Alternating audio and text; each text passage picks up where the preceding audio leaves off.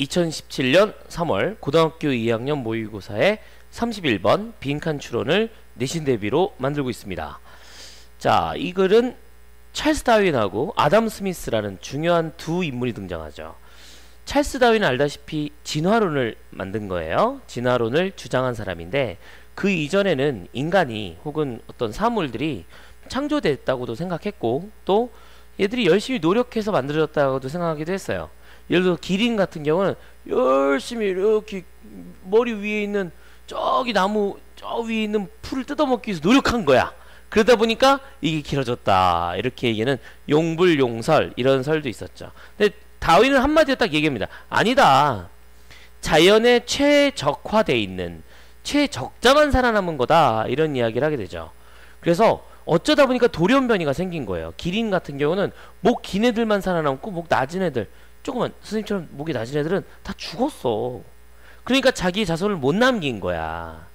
여러분이 이렇게 생겼지만 이렇게 이렇게 생긴 게 유리했던 거예요.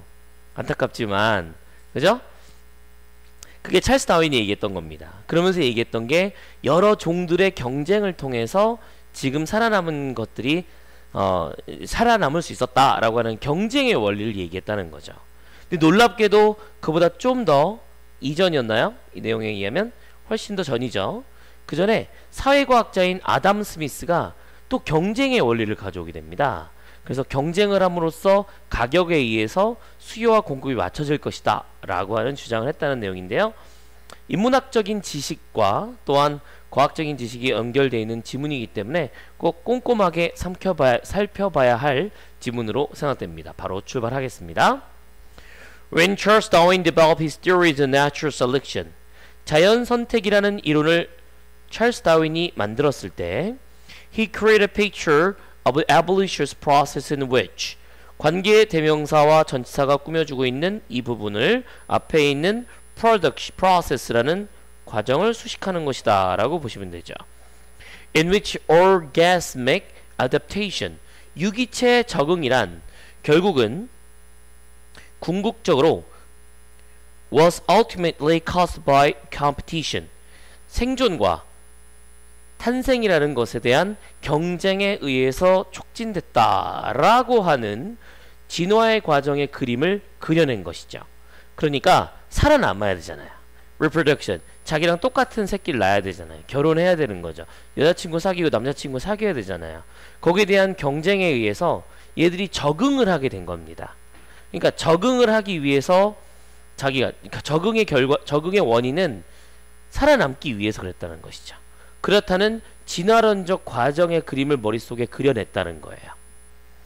이러한 생물학적인 struggles for existence, 존재를 위한 투쟁은 bears, 품고 있습니다. 배어는 원래 구, 곰이지만 품다, 참다란 뜻도 있는 거예요. Considerable resemblance to the human struggle between businessmen. 비즈니스맨이니까 사업가죠. 사업가에서 되게 비슷한 얘기 나옵니다. who 관계 대명사로 설명하는 사람들이죠. striving for economic success in competitive market. 경쟁하는 시장입니다. 시장에서 여러 명이 경쟁을 하죠. 그쵸? 핸드폰을 팔기 위해서 애플하고 삼성하고 막 싸우잖아요. 하이웨이 들어오고 LG 들어오지 않습니까? 그런 과정에서 경제적 성공을 성취하고자 하는 사업가들 사이에서의 인간의 투쟁과 상당히 닮아 있다는 거죠. 살아남기 위해서 경쟁하는 거예요. 그게 회사에서 혹은 기업들이나 시장에 참여하는 주체들이 하는 행동과 똑같다라는 겁니다. 중요한 단어 considerable resemblance 체크하고 넘어가겠습니다. Long before Darwin published his work, 다윈이 자신의 일을 작품을 출판하기 훨씬 더 전, 그러니까 아담 스미스의 이론이 훨씬 더 이전이었던 거죠. 사회과학자인 아담 스미스는 had already considered that 대절을 이미 고려를 하고 있었습니다. 사업은 driving force behind economic efficiency and adaptation 경제적인 효율성과 적응 능력의 원동력이다 라고 하는 점을 이미 고려하고 있었던 거죠. 즉 아담 스미스는 경제학자고 돈을 버는 거기 때문에 돈을 버는 것에 관심이 있었던 경제학자니까 이 사람이 생각하기에 사업체에서의 힘은 결국은 경제적인 효율성과 적응이라는 것이 바로 경쟁 그 자체다 라고 이야기했다는 것이죠. 마지막 문장에서 결론 짓고 있습니다. It is indeed very striking. 실제로 엄청 충격적이다. 중요한 단어 striking. 어휘 추론이나 빈칸 나올 수 있죠. How the ideas on. 어떻게 그 생각들이 on which 하다는 것 자체가 원문에는 이 자리에 similar라고 하는 빈칸이 들어가 있죠. 이 자리 적어두세요. How similar 이게 됩니다.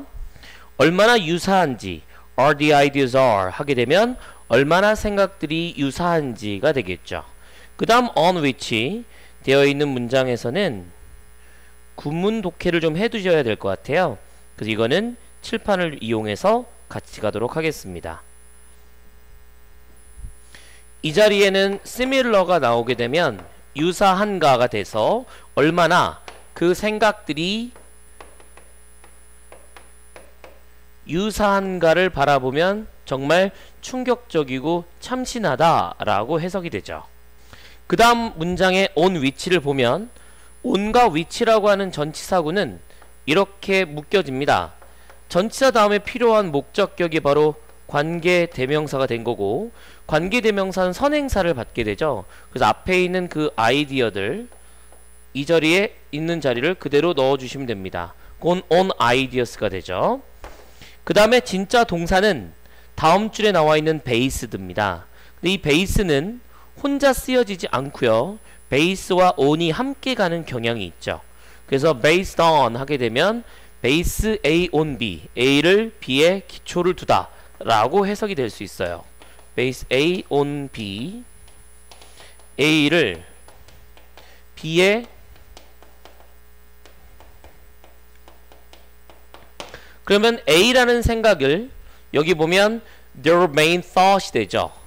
자신들의 주된 생각을 앞에 있는 아이디어에 두었다라고 해석할 수 있습니다. A를 좀 더 이쁘게 써볼게요. 그러면 이 아이디어가 B가 되는 것이죠. A라는 자신의 생각을 그 생각들 아이디어에다가 두었다는 것이죠. 근데 그 아이디어가 얼마나 유사한지 보면 너무나도 신기하더라 라고 해석할 수 있는 겁니다.